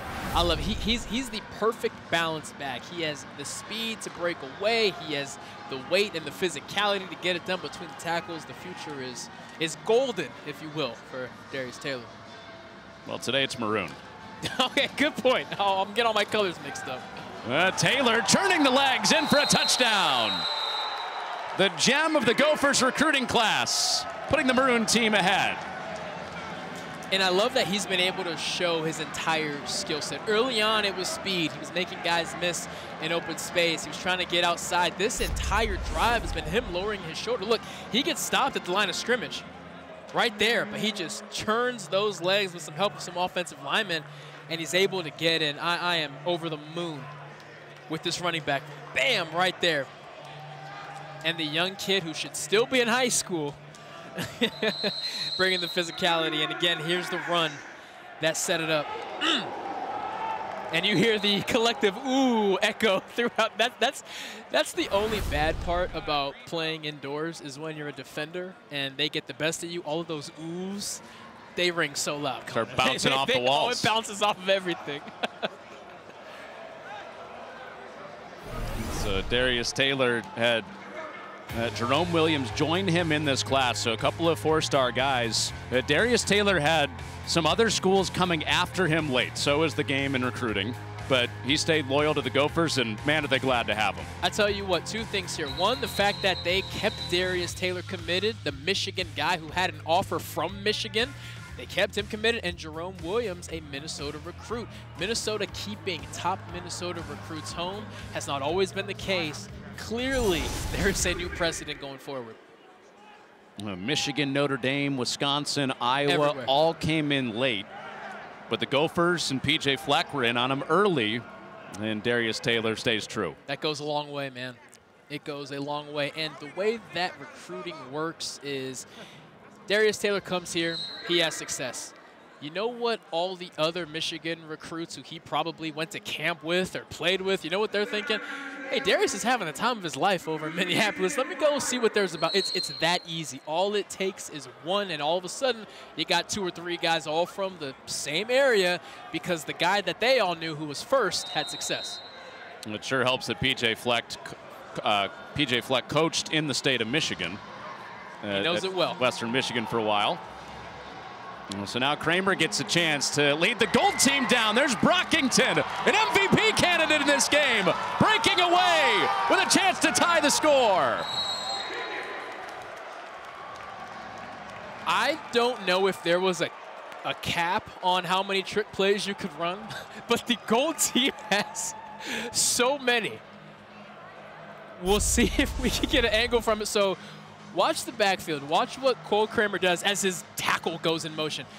Where's the ball? Where's the ball? Where's the ball? And boom, you see Le'Meke take off before the defense can react. A perfectly placed ball outside where Coleman Bryson, who is in position, but he's inside of him. So again, watch where Cole Kramer places this football. Safety's coming from the inside. I'm going to force my receiver outside. He makes Bryson miss, and Le'Meke Brockington once again says, uh-uh, Elijah Spencer. That MVP is mine. Uh, this looks like late season Le'Meke Brockington. Closed the season really, really well. Final three games had a breakout. Well, this is the schedule that is coming up for Minnesota. The Thursday night game against Nebraska. Then they resume Big Ten play against Northwestern. Then it starts in full with Iowa after that bye week. Big Ten the rest of the way after that. The Big Ten West is in such such an interesting place. Don't get me wrong, the Big Ten West is always coming down to the last week. It's always chaos, but you have a new look Purdue, new quarterback, new head coach, new look Wisconsin, new head coach, new offense. They're going to be chucking the ball coming from the air raid tree. Nebraska has a new coach, maybe a new quarterback. Can Illinois repeat the the success of being last year's darling? Iowa got got maybe the biggest transfers in all the Big Ten. The Big Ten West is madness, and I wouldn't have it any other way. The most confusing division in college football last year. Without question. I, don't know why we even predict it. We're not going to know until week 13. We're, we're, we're just never going to know. Well, Brockington had that touchdown to help tie the game. Eight catches, 191 yards, and a touchdown. Oh, they got to get him to uh, two bills. Got to. Got to get him to two bills. To say I had 200 yards in the spring game, they got to, if, if they can get this ball back, and, and, make sure this isn't the last possession. If they can get a third down stop, I promise you they won't let Mackey to get 200, uh, 200 yards. Well, Spencer made the catch, and he got a, a DB down. Kerry Brown, who had a pick earlier.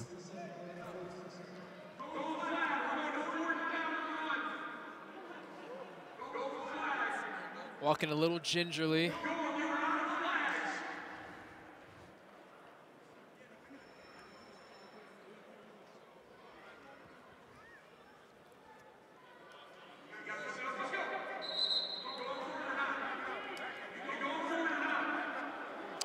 while Brown goes off, a gold flag was used by the defense, which results in a loss of down. So this is going to be fourth and one. Oh. so Maroon held on to it. That's how you up the stakes. Or Gold held on to it, excuse me. Gold held on to it, and now it's fourth down and one instead of third down and one. And Maroon's going to go for it with Kaliakmanis at quarterback. And he hands off for Taylor, squeezing in there. And I don't think he got there. He didn't. He's short. So the use of that gold flag pays up big for the gold team. They're going to get it back in plus territory with a chance to win it. It looks like Tyler Stolsky, 44. Is he able to? Yeah, he is. The guard reaches him, but he's able to keep his balance and fight through. Look at him get just enough I'll tell you, that what a play.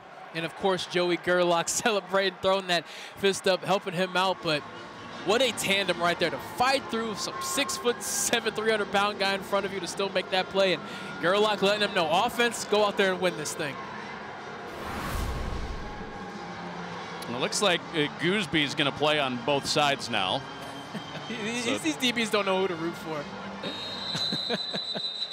and just to make sure we didn't have that moment like we had earlier with Pless. He's wearing the penny now. Thank you. Thank you for making it clear.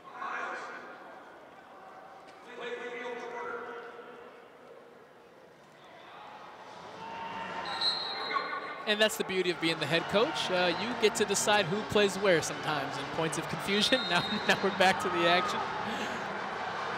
Now you do have uh, jersey on jersey out on the perimeter. As that goes up the middle, Baranowski saves a potential touchdown for Max Grand. Great play by Baranowski there, and definitely a touchdown saving tackle. Max Grand in that mix in the running back depth, but with that much space, he definitely has the speed to make a house call. Incredible play by Baranowski. And so it'll be second and short Is That, I think that's Sean Tyler out there. Is it Sean Tyler out there playing corner? Could it be? Uh, back with Grand, and he's near the first down line to gain. We have to apologize. Our, our rosters have become worthless since everyone's been Everybody's changing jerseys. numbers. I promise you guys, we're we're doing our best here. Okay, so it is fourth down. They don't give him the spot. And we've got a field goal coming with inside a minute to go with a chance for the gold team to win it. Last year's spring game came down to a field goal as well. Maroon besting the gold team 19 to 16. Pressure is on once again. Clock winding down. Building the moment. Music playing. Well, this is the, the big leg lefty from 48 yards. Dragan Kesic.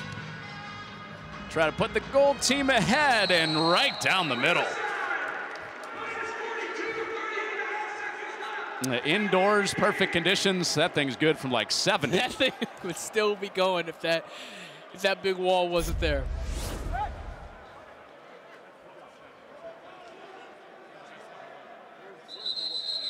Beautiful form. He likes it from the moment he made contact.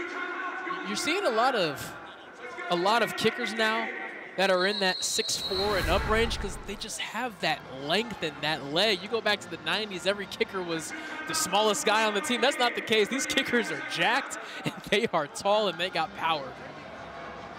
Maybe future Legatron of the Big Ten right there. I mean, that's a great resume from, from what we've seen so far. It sure helps as the safety valve and tackling, too, when you've got You six never four know. kickers. Never know. We got about a half a minute here for Kaliakmanis. Try to lead the team down. And it goes to Elijah Spencer. And he's got a short gain. Great job by the defense keeping him in bounds. He was certainly sideline hunting. They did not allow it.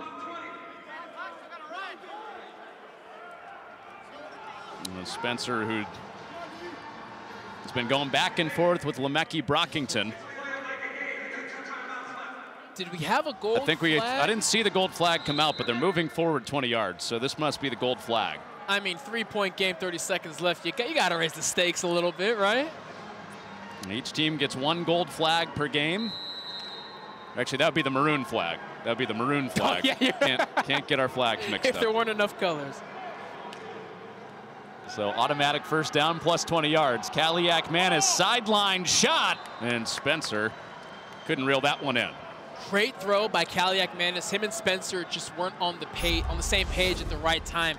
You're gonna see the back shoulder. Elijah Spencer's just a second too late to read it right there. If he if he can separate half a second before that ball is his, that comes with time, right? That back shoulder fade is one of the toughest things to throw. But if you can get it consistently, it's also the toughest thing to guard. They will develop their chemistry a little bit more, and they'll they'll be on the same page next time. And Kaliakmanis is touched up. Jah Joyner got to the quarterback. Or did we have a timeout first or after? That's the question here. Let's I think this comes this ball, but after. Look at Jah Joyner, the spring game MVP two years ago, making his presence felt once again. Now, this play will count. This play will count. Okay, so Will it count. is going to be a sack. And so a little over 10 seconds to go.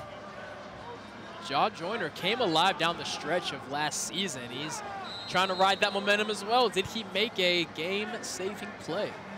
Uh, Third and 16. Already used the maroon flag to advance it. And to the sideline, Kaliakmanis is out of bounds. And it'll be fourth and short, and you got to either get a quick first down, then take an end zone shot, or take your end zone shot here. Or, Or do you go for the tie? tie it up and make it even more interesting. they're not going for the win. They're going for the tie. All right, so does that mean we get co-MVPs if we tie Rockington and Spencer? There's about four or five candidates right now. They may have to cut that trophy up into a bunch of little pieces. From 46 for Kesic. And he is good for both teams. And we are 10 seconds away from the rarest of spring game ties, but PJ Fleck has something in his pocket here. I think we're going to go two point conversion, overtime rules, and settle this. Oh, I love it. I love it.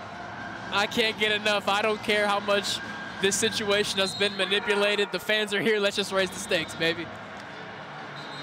And so Kaliakmanis, and the Maroon team offense will get the first chance at it.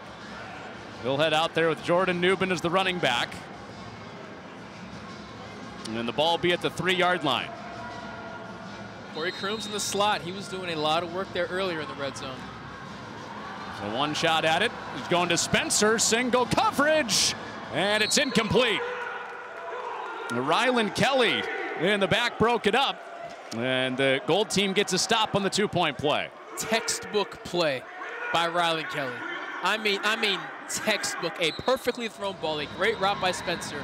You're always going to be a step behind when the ball is placed that well, but man, did he just play through the hands perfectly. Th that ball gets there so quick, or it takes so long to develop if it's thrown with a high arc. If it's not a back shoulder, you have no chance. Don't look for the ball, just watch the hands. When they form to the diamond, swipe through, great play by Kelly. Trick play to win it here? Yeah, why not? It is the gold team. Now ah, Reed, Evans bounces outside, looking for the win! And a gold team winner in the spring game.